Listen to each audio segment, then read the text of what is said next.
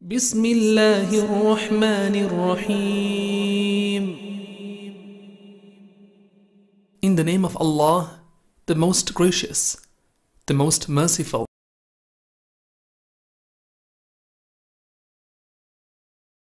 السلام عليكم ورحمة الله وبركاته. بسم الله الرحمن الرحيم الحمد لله والصلاة والسلام على عبد الله ورسوله محمد صلى الله عليه وسلم وعلى آله وأصحابه والتابعين ومن تبعهم بإحسان إلى يوم الدين وبعد. My beloved brothers and sisters, we thank Allah subhanahu wa ta'ala. We praise Him. We send blessings and salutations upon the most noble of all prophets of Allah subhanahu wa ta'ala, the best of all creation, sallallahu alayhi wa sallam. We ask Allah to bless him and his entire household and to bless all his companions and to bless all those through the generations who struggled and strove to learn the deen, to put it into practice, to convey it to others in a way that it has got to us. So this evening we are seated here. Thanks is to Allah.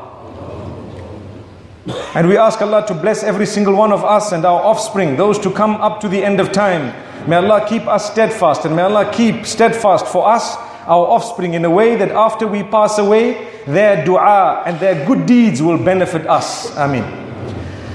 My brothers and sisters, we all know that revelation is not only made up of the Quran, but it is also made up of the Sunnah of the Prophet sallallahu alaihi wasallam. Allah says in Surah An-Najm, the opening verses, وما ينطق عن الهوى إن هو إلا وحي يوحى He does not utter from his own desires, whims and fancies.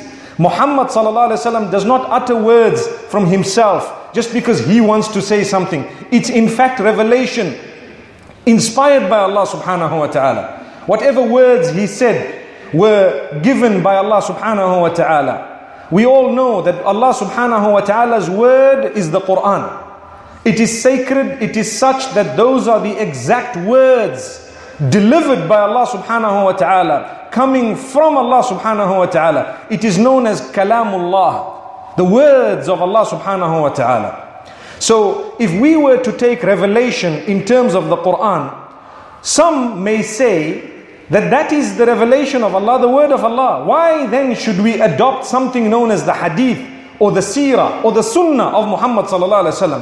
What is the purpose of it? Why do we have to follow that? The truth is, the same Quran, if you were to follow it correctly, it will lead you to the following of the sunnah of Muhammad. Anyone who wants to read the Quran will find in the Quran words of Allah that not only encourage but instruct those who believe to follow the footsteps of Muhammad in absolutely everything. It's impossible for us, impossible for us to understand the Quran without an explanation by Muhammad sallallahu alaihi wasallam. We need to know this. There are groups of people today who seem to be saying this is the Quran and that's it.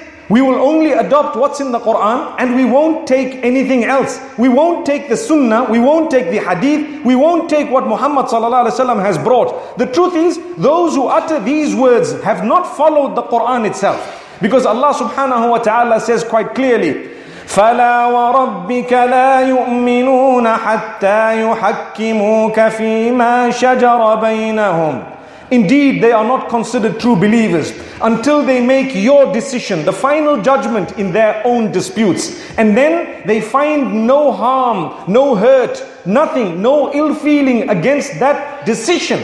And they actually surrender to it completely. If you're a true believer, you surrender to the decisions made by Muhammad sallallahu alaihi wasallam. What he declared was halal and haram was not from him, it was from Allah. What we find in the Quran, Allah says, قل إن كنتم تحبون الله O Muhammad صلى الله عليه وسلم tell them if you love Allah subhanahu wa ta'ala if you love Allah then do you know what you should be doing فاتبعوني so follow me follow me Where are those who say, don't follow the sunnah? When Allah says, if you love Allah, then tell them to follow you, O Muhammad sallallahu Whoever loves Allah in the true sense will understand the value of this Nabi sallallahu wasallam, the value of his words, the value of his life, the value of everything that came from him. He was chosen by Allah from the very beginning, the best of creation, the most noble of all messengers. Sallallahu alayhi wasallam. May Allah's peace and blessings be upon him and upon all the other messengers of Allah subhanahu wa ta'ala. So Allah says, if you love me, Meaning, if you love Allah, then follow me, follow Muhammad sallallahu alaihi wasallam, and Allah will love you in return, and Allah will forgive your sins. So, to gauge if you really love Allah, you need to ask yourself, how much of the Sunnah of Muhammad do I adopt? How much of it do I adopt? There is a hadith, the Prophet ﷺ warns us of a group of people who will come at the end of time. He says, يوشك أن يأتي رجل جالس على أريكته يقول هذا كتاب الله ما وجدنا فيه من حلال أحللناه وما وجدنا فيه من حرام حرمناه The hadith starts off by saying, ألا إني أوتيت القرآن ومثله معه Behold, I've been given the Quran in terms of revelation and something similar to it together with it. And then he says, Be careful, be warned. There will be people or a person who will come later on reclining on his sofa, reclining on his reclining chair. Al arika is referring to a comfortable chair where you're relaxing, sitting back. And he will say, Well, this is the book of Allah. Whatever I find in it as halal, I will consider it halal. Whatever I find in it as haram, I will consider it haram. The Prophet ﷺ says, Be careful of such statements. Be careful of those who only consider the book of Allah and want to negate the entire teachings of Muhammad ﷺ that are explanatory of this Quran.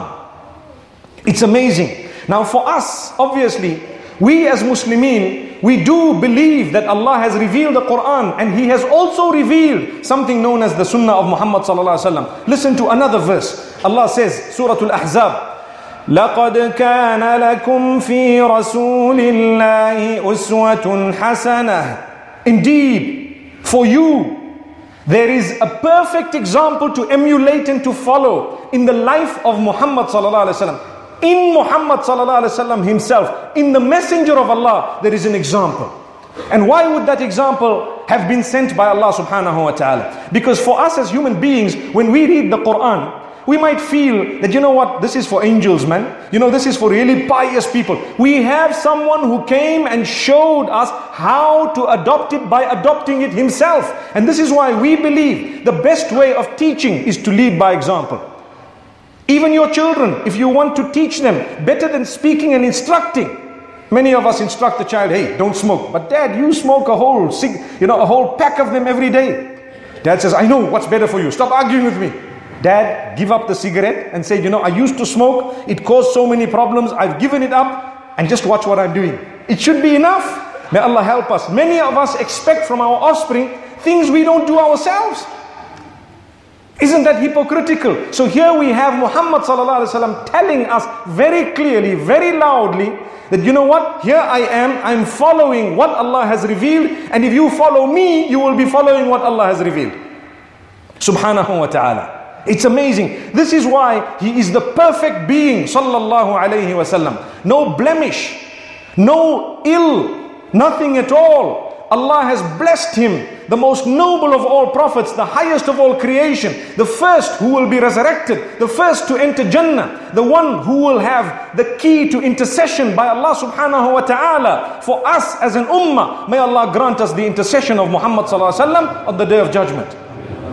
And he came to us. We are supposed to follow him. Do you know everything we do, the salah that we just fulfilled now, the adoption of the commands of Allah, the abstention from the prohibitions of Allah subhanahu wa ta'ala, that we take heed of, the full reward goes to Muhammad sallallahu alaihi wasallam because he was the source of all that coming from Allah subhanahu wa ta'ala. So if he taught his companions who then taught the next generation, who then taught the next generation, up to the day it came to us, when I follow something, my teachers, my asatida, those who taught me will have a full reward of what I've done. And their teachers will have a full reward of what they've done. And their teachers and their until it gets to the Sahaba and back to Muhammad sallallahu alaihi wasallam. So every word of Quran I read, not only do I get 10 rewards, but all those in the chain of teaching right up to Muhammad get a full reward for everything I've done, everything I've said. How amazing, how unique. I always think if we could see these rewards flying, perhaps,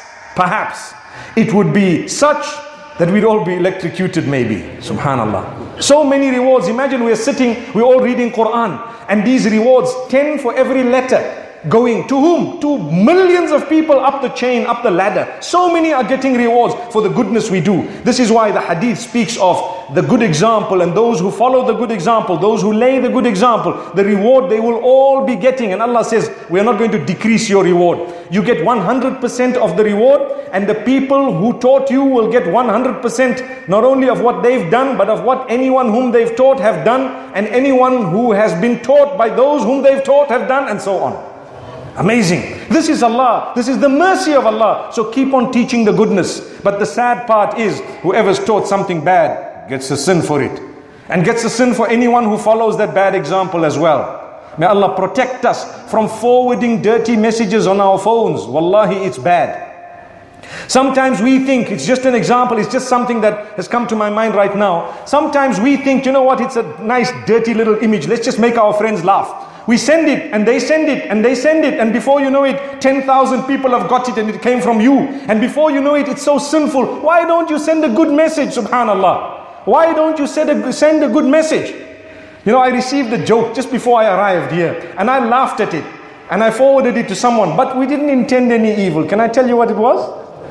They say there was a man who met his wife in the kitchen and he tells his wife, he says, Do you know what? We've got four children. Which one of them do you love the most? So she says, Well, you know, I love all of them equally. These are my kids. I love all of them. Don't even try to make me say anyone's name here. You know, I love all of them. He says, Well, I'll tell you what. That's how Allah has made a man be able to love four wives. Guess what happened? He got up in hospital. May Allah subhanahu wa ta'ala grant us protection. May Allah safeguard us. May Allah subhanahu wa ta'ala open our doors, really. So if we understand, okay, we do sometimes want people to laugh, but let it not be dirty. It can be a point of laughter, perhaps something that you, you know, on a lighter note. Life doesn't have to be all gloomy. You know, people believe that as a good Muslim, you must be gloomy, you must be somber, no smiling, looking down all the time, you know, wa alaykum assalam wa rahmatullah. You know, that's not a brilliant Muslim. You're supposed to smile, you're supposed to make others smile, you're supposed to say good words, you're supposed to be romantic to the right people. May Allah forgive us. May Allah subhanahu wa ta'ala help us. You're supposed to be encouraging others, you're supposed to be making them feel like they are good people. This is the house of Allah. I always say, one of the signs of goodness is when you make others who visit Allah's home comfortable so that they come back because they are looking forward to people like you who give them a smile when they are feeling low, when they are feeling down. You come to the house of Allah, everyone's smiling, you forget your problems. Now it's the other way around. You come in the house of Allah, this guy owes me money, that guy, oh, I owe that guy money, let me run away, duck this side, dive that side. What's all this about? We should not be doing this. Let's follow the sunnah, the example of Muhammad sallallahu alaihi wasallam. Everything was beautiful. People were honest. Where's the honesty gone? So if we take a look at the Quran, it will lead us to the Sunnah of Muhammad sallallahu alayhi wasallam. Like Allah says, you follow this example. This example is beautiful. He is, yes, a human, but the best of all of them. The top of every single creature of Allah subhanahu wa ta'ala, without a doubt. And at the same time, you follow your love for Him and your love for Allah is not determined by a mere statement. It is determined by whether or not you follow what He has brought. May Allah subhanahu wa ta'ala help us to follow the example of Muhammad sallallahu alaihi wasallam. So, when we speak of his example, we hear a few words, and I want to go into some of these words to explain to you what they actually mean. You hear the term seerah, don't you? You hear the word sunnah, don't you? You hear the term for example, hadith, don't you? What is this? What does it mean? Sometimes people say certain things are sunnah and, and they're not sunnah because they are farad.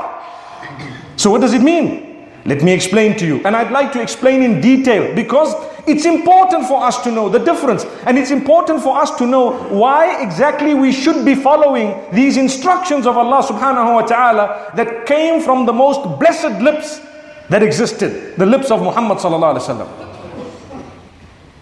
So, firstly, when we take a look at the jurists, and this is the common term sunnah that is used, when you have a faqih or the fuqaha, the jurists, those who speak about what is farad, what is wajib, what is sunnah, what is haram, what is makruh, and so on, the jurists.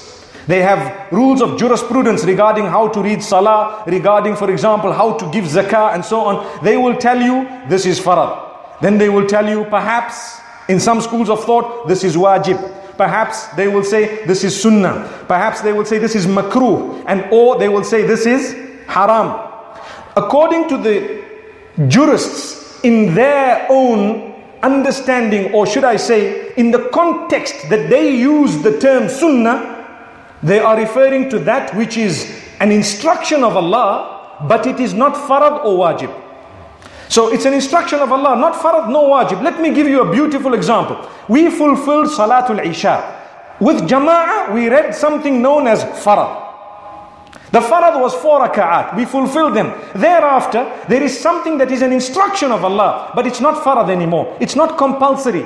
It is now voluntary because it was that which was added as a voluntary act of worship by the following of what Muhammad did and he did not say it is compulsory. So it becomes automatically something you are following, but it's considered sunnah because the Prophet ﷺ did it and he did not consider it compulsory. So that is the context of the jurists known as fuqaha.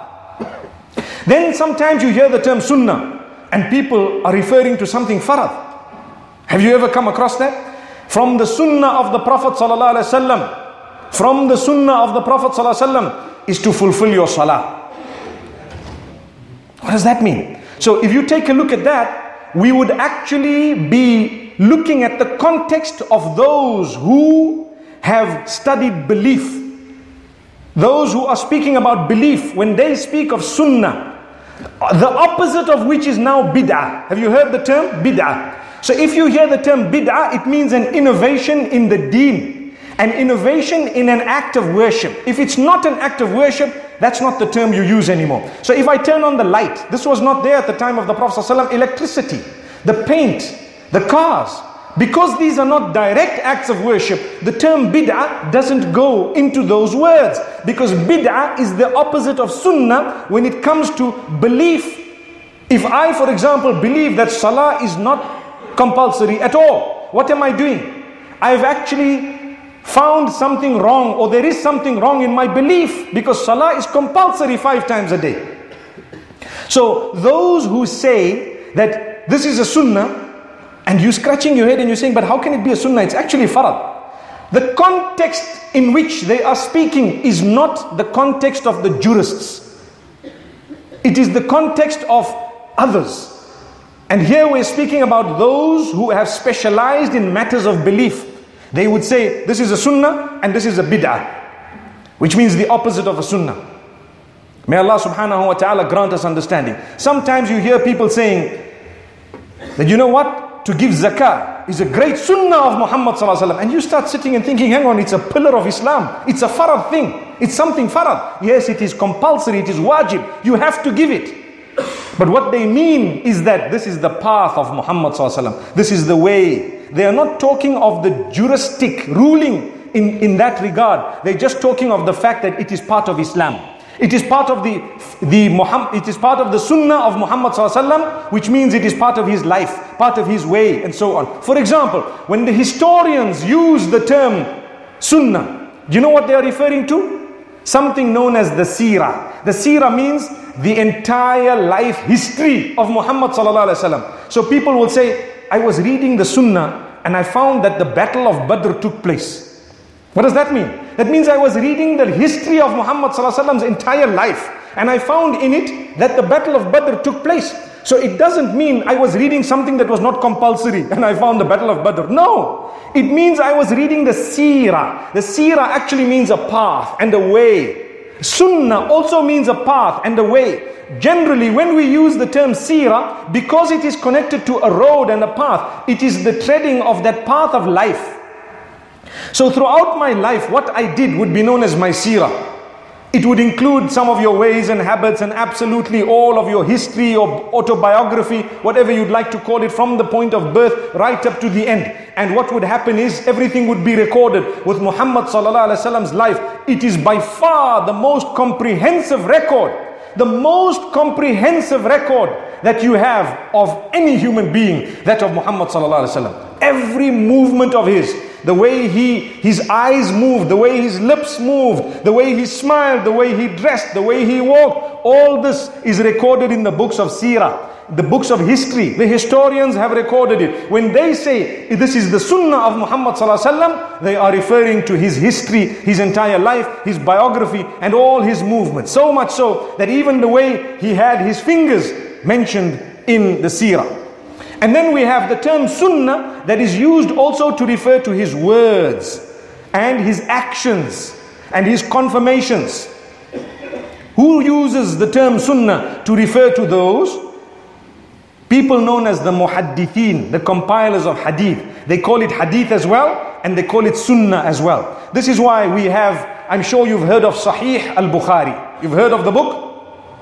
Al Jami' al Sahih and the person who compiled it is Al Imam al Bukhari. It's considered the most correct book after the Quran. Then you have Sahih Muslim. Then you have Sunan. The Sunan meaning Sunnah is recorded and compiled by whom? You have Ibn Majah, rahimahullah. You have, for example, Abu Dawood, rahmatullahi alayh. You have An-Nasa'i, rahmatullahi alayh. And so on.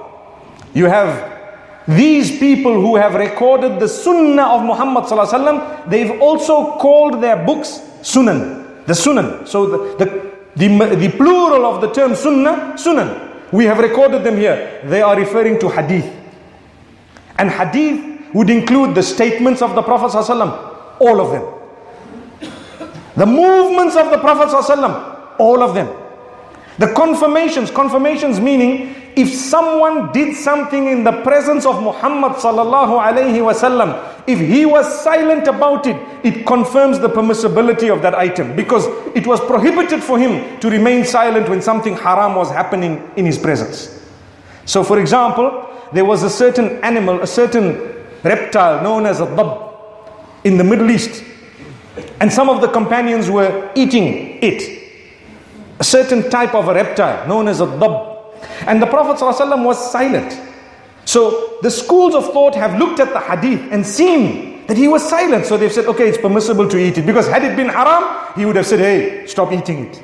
But he saw it. He didn't say anything. No acknowledgement, no denial. It's permissible. It doesn't mean you have to eat the reptile. It doesn't mean it's sunnah because he didn't eat it himself but it means it's permissible, a specific type of a reptile. May Allah subhanahu wa ta'ala grant us a deep understanding. This is only a simple example to show you that when the term sunnah is used, it refers to so many things.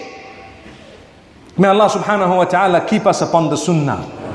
So when we use it in a broad sense, it's referring to absolutely everything we spoke about now. But perhaps in it is something farad that may be included as well. You know, from the sunnah is to abstain from lies. That means lies is haram. That's what it means. But we're using the word from the sunnah is to abstain from lies. From the sunnah is to treat your family members with respect. That's actually compulsory. Did you know that? Today, the way we treat our family members, by far, we are so distant from the sunnah and we claim to be people who follow Muhammad. What's going on? This globe that is in chaos at the moment. If you take a look at the Muslimin, confused lot. Because why? We've turned away from the shining example of Muhammad. His life, his attitude. When he saw those who were not Muslim, for him, they were potential Muslims. He was so concerned about the guidance being delivered to them that he used to go to them, speak to them, answer their questions, and these were the enemies of Islam. Everyone who's not a Muslim should not even be called a non-Muslim. You know what they should be called? With the hope that we should be having for them to turn to Islam, we should refer to them as not yet Muslim. Subhanallah. These are Muslims and these are not yet Muslim. Subhanallah. What hope is that taught to us by Muhammad The minute you say non-Muslim, it's like this is us and this is them. All of us somewhere up the ladder, our forefathers perhaps were not Muslim. They accepted Islam. Today we're seated here. The effort of someone. If they looked at us as enemies, where would we be? Would you be seated here? No. Perhaps your grandfather, your great grandfather, wallahi, from amongst us, there are those who have accepted Islam themselves. Reverts. They've come to Islam. They are purer than you and I who were born Muslim because in a lot of cases they have seen the darkness and they've come out into the light. But with us, sometimes we have not seen or appreciated the light because we were born in it. Have you noticed when you're in a dark room and the light is turned on, it's a dim light, but you, you are dazzled for a moment and you take a while because the light has really affected you. It's really beaming. For you, it's bright. But someone who is in a very bright room, for him, it's not even so light. He gets used to it after a little while and everything's fine and okay. He doesn't appreciate, he does not realize. For us, when the lights go, thanks to Eskom, what happens to us? we use our mobile phones, we turn on the little screen, which is not even supposed to be a torch. And what happens? The screen lights up and you say, okay, can you see? I can see clearly. But there's no light. It's actually just a screen that's lighting the path. So let me tell you, as Muslimin, we should be searching for any light in order for us to see the path. But it's not good enough to just see the path. You need to walk on it.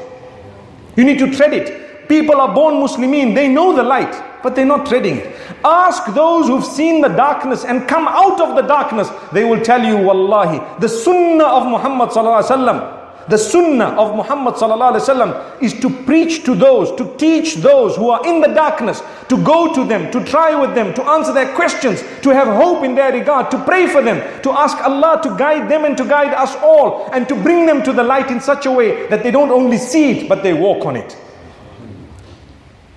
Subhanallah. Subhanallah. And this is why when you take a look at the most important dua, the most important supplication in Islam is one supplication that we repeat as Muslims so many times every single day, but we don't even realize. Do you know why? Because we're in the light.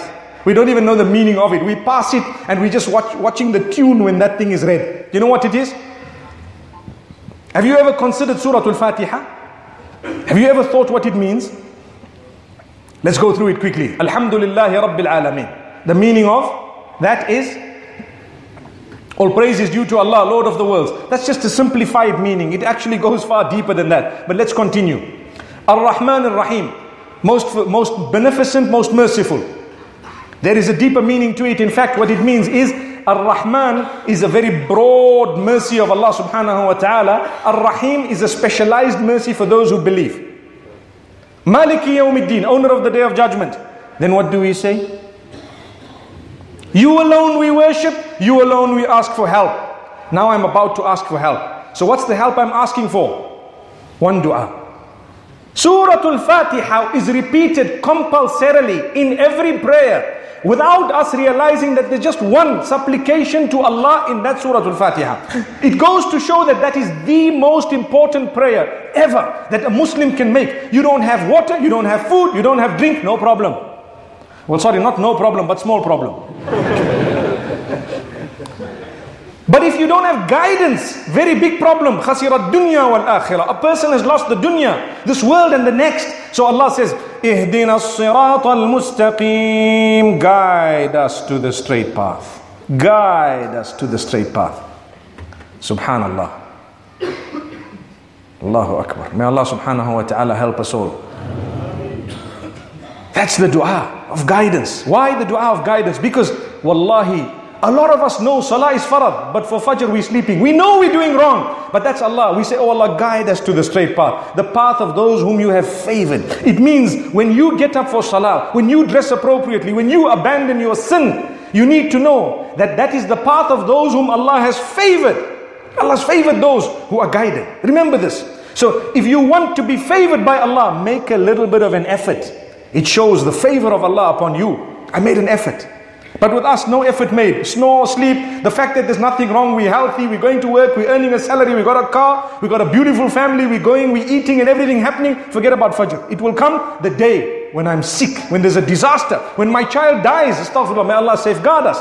Why do we have to wait for calamity before we turn to the sunnah of Muhammad Why do we have to wait for disaster before we turn? But even if the disaster does come and we do turn, it is still not too late. Some of us, disaster comes, we turn for five, ten minutes, and then we go back. May Allah forgive us.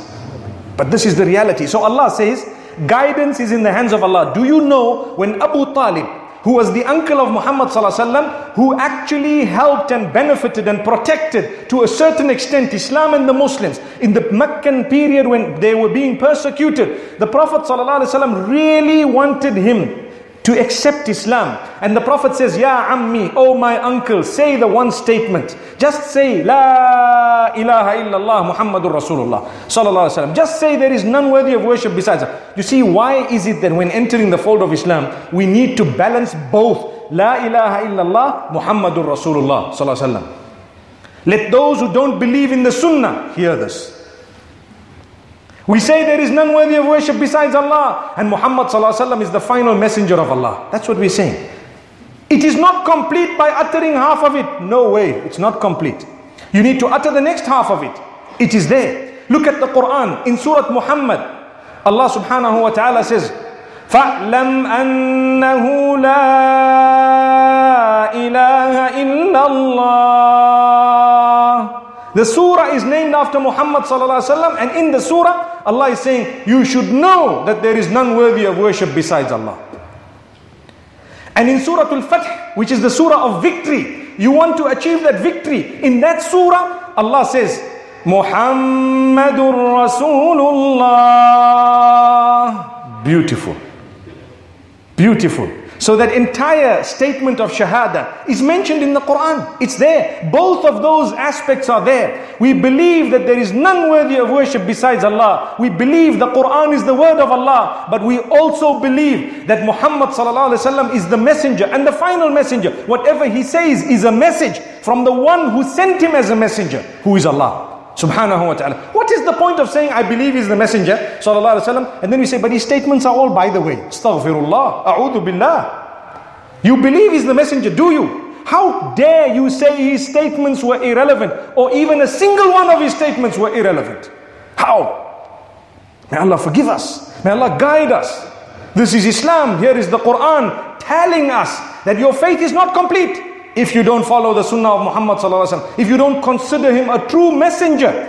What is a messenger? Have you thought about it? A postman who comes, is he giving you from himself? He's giving you all the letters from whoever sent those letters.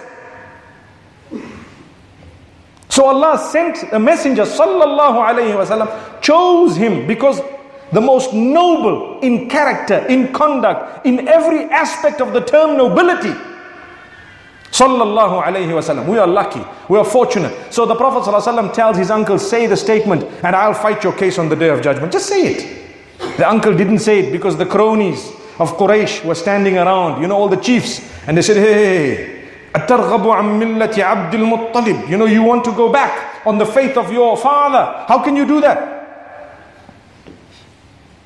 So the Prophet was quite sad. When he was sad, Allah revealed a verse. And Allah says, إنك لا تهدي من أحببت ولكن الله يهدي من يشاء You will not guide whomsoever you wish to guide, O Muhammad sallallahu but it is Allah who will guide whomsoever He wishes to guide. This was only in order to comfort Muhammad sallallahu because he was sad. Allah knows best why what happened happened, and He knows best why what will happen will happen. That's Allah. But this shows you that guidance is in the hands of Allah. So one might argue and say, well, there's another verse in the Quran which says to Muhammad sallallahu alaihi wasallam, وَإِنَّكَ لَتَهْدِي إِلَى صِرَاطٍ مُسْتَقِيمٍ Indeed, you are the one who guides to the straight path.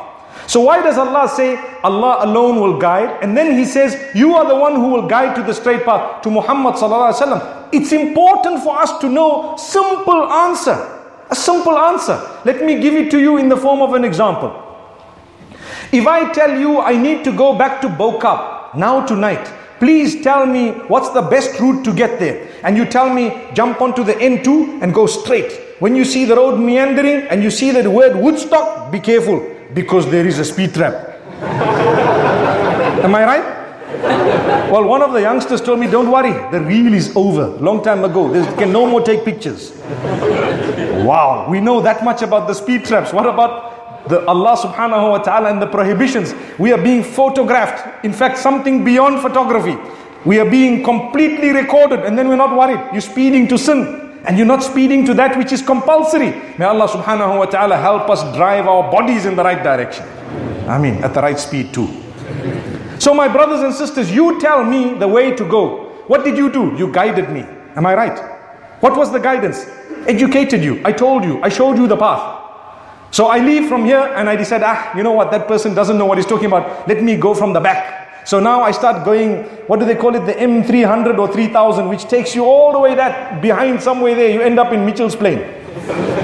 and then I say, but hang on, what was that guy saying? He didn't tell you this. He told you something. He guided you. You did not follow the guidance.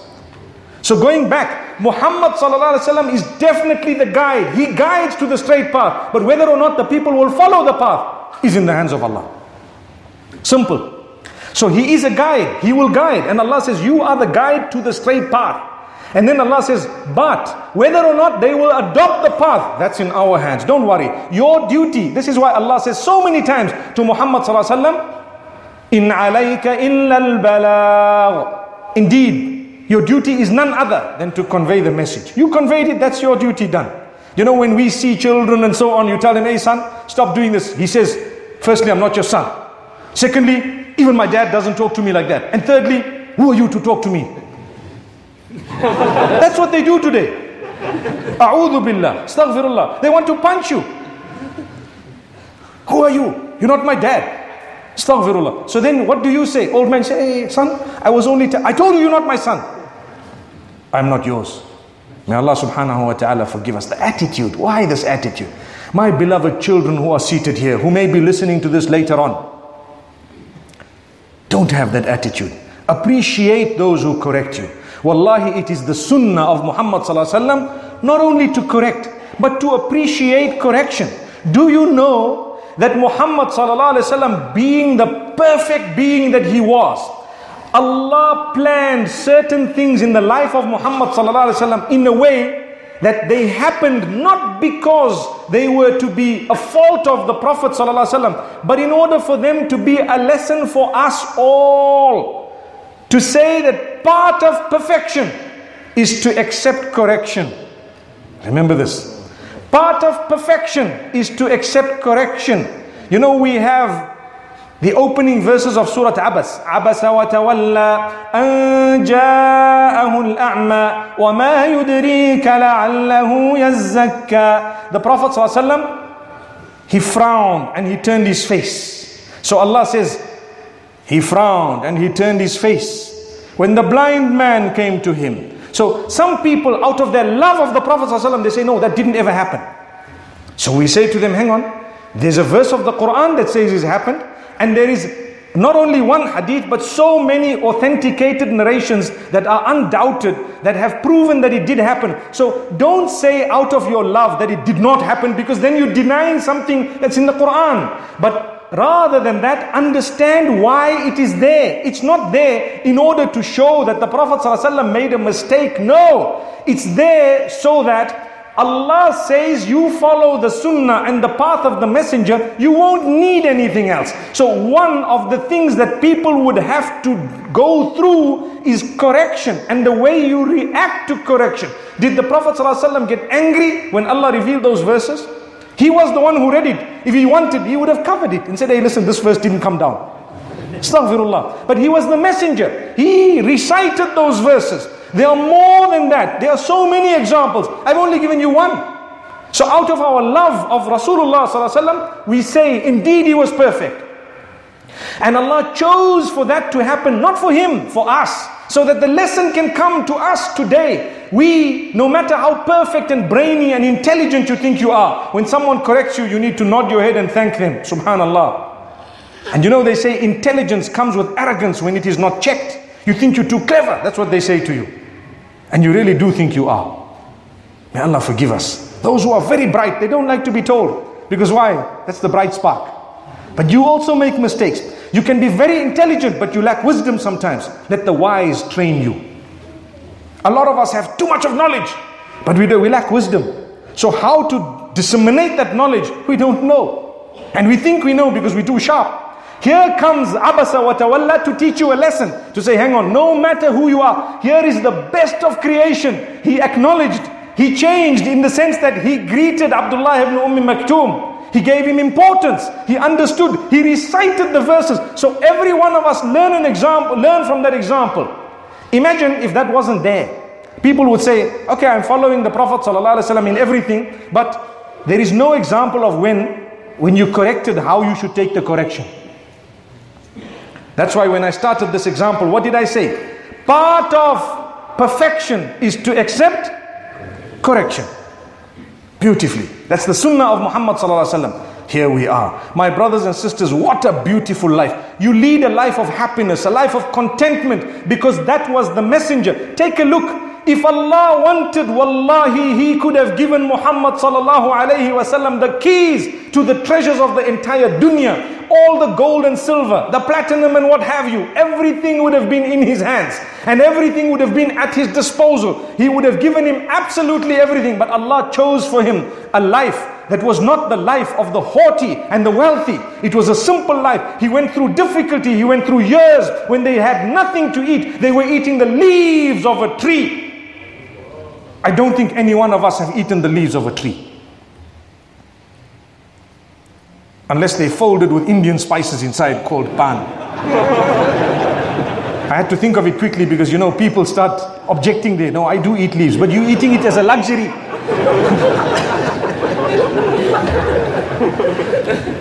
May Allah subhanahu wa ta'ala forgive us. My brothers and sisters, we are so fortunate and then we say Allah doesn't love me. Why? Because you know I eat beef every day, but I haven't been able to eat beef for the last four days.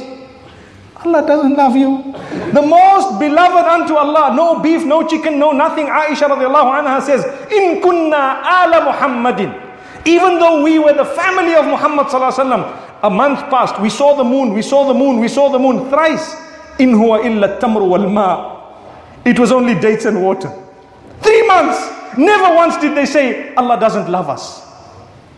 They were happy. They were delighted. With us, you lose your job. Three months you have no salary. You start doubting. Allah, astaghfirullah. Where is the perfect example? This is where the sunnah comes in. Go back, look at his life, check what he did, look at what Rasulullah had. It will open your heart, it will open your doors, it will open your mind, it will make you see and appreciate the little that you have. He was the best.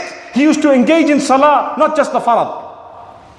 But he used to stand at night until his legs were swollen. And his wife, radiallahu anha, used to ask him, Oh messenger, you are the best, you are the greatest, you are forgiven completely, meaning perfect, sinless, spotless. How come you were standing at night until your feet are swelling?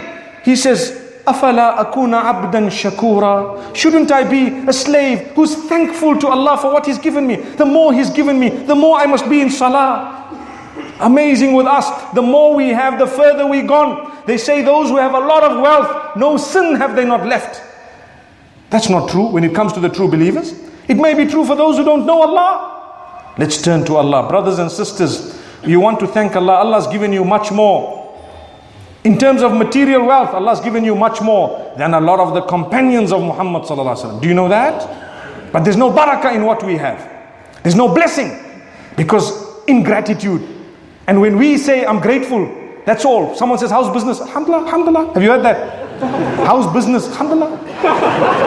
Brother, what does that mean? Is that your grati- gratitude? You're not there for salah. You don't know what salah looks like. Come Ramadan, only Allah knows what happens. Allah forgive us. How is your business? You say, you know, we definitely do thank Allah. I'm not saying don't say Alhamdulillah. It's a beautiful answer. But mean it. Mean it. Let it come from inside. Because Alhamdulillah should be showing by you being there for Salatul Asr. That's what it is. By you being there for Salatul Fajr by you dressing appropriately, by you abandoning sin. The zina is so easily committed. You cut it, you say, No ways. Oh Allah, I thank you. Business is okay. Others are struggling.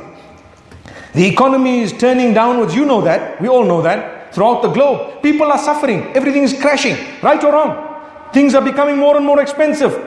Business is not as it used to be a few years ago. Zimbabwe is now coming right.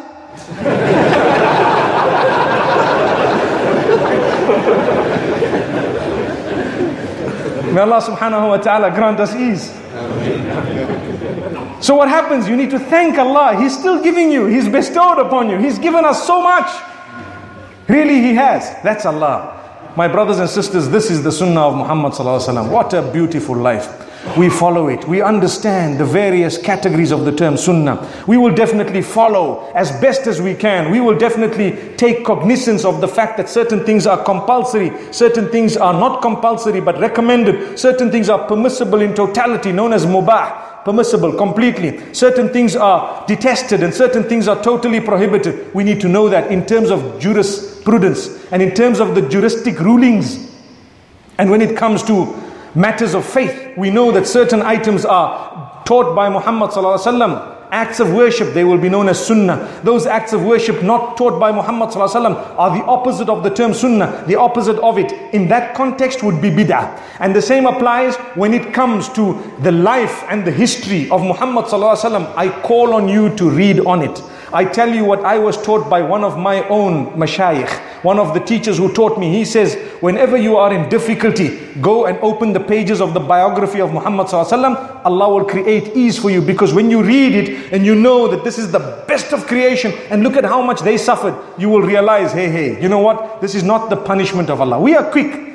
When something goes wrong, your factory burns down. People say, Yeah, Allah punish that guy. Allah punish. Who are you? Did Allah come to you telling you that I'm going to punish this man? That now suddenly you know that that happened? Not at all. So we thank Allah subhanahu wa ta'ala. We ask Allah subhanahu wa ta'ala to grant us goodness and ease. And we, we ask Allah subhanahu wa ta'ala to open our doors. My beloved brothers, really, it was an amazing evening that we had here. I've spoken for 46 minutes, 13 seconds exactly. By now it's probably 16 seconds. And I thank Allah subhanahu wa ta'ala for giving us this opportunity. We have a brother who would like to, inshallah, embrace Islam. Uh, I think he is here with us. And perhaps if the brother can get up and come forward, inshallah, we would like to uh, get the declaration of the Shahada, inshallah, as we've spoken. And we make dua for him and we ask Allah subhanahu wa ta'ala to bless him and to bless one and all. And my brothers and sisters, while the people who are not yet Muslim are looking at the goodness of Islam and seeing it and reverting in their thousands, if not tens of thousands, if not hundreds of thousands, we who are already Muslim, let us rejuvenate, let us open up, let us revisit the teachings of Islam with the idea of adopting it. It's not good enough to say, I know. Wallahi, there are people who are jealous of us. They want to pull the carpet from beneath us. They want to snatch away our deen. It's the biggest gift that we have. Let that not happen. Learn it, adopt it, follow it, put it into practice properly so that when your children see, when the rest of the Muslimin see, when the youth and the young see, they see your contentment, your happiness, your enjoyment, your balanced lifestyle, and they realize that this balance, this goodness, this enjoyment within limits is actually what is taught by Islam, and that is what will bring us true salvation in this world and the next. Barakallahu fikum. Sorry? You want to do a few announcements? Okay. Inshallah, we will close for a, a, few moments. The brothers want to make a few announcements and then we'll take the Shahada. If the brother is not uh, for example, prepared to come and stand in front of everyone. Sometimes there's a bit of stage fright, although there's no stage here. But no problem, we can do it later on, inshallah, perhaps somewhere towards the back. Jazakumullah khair.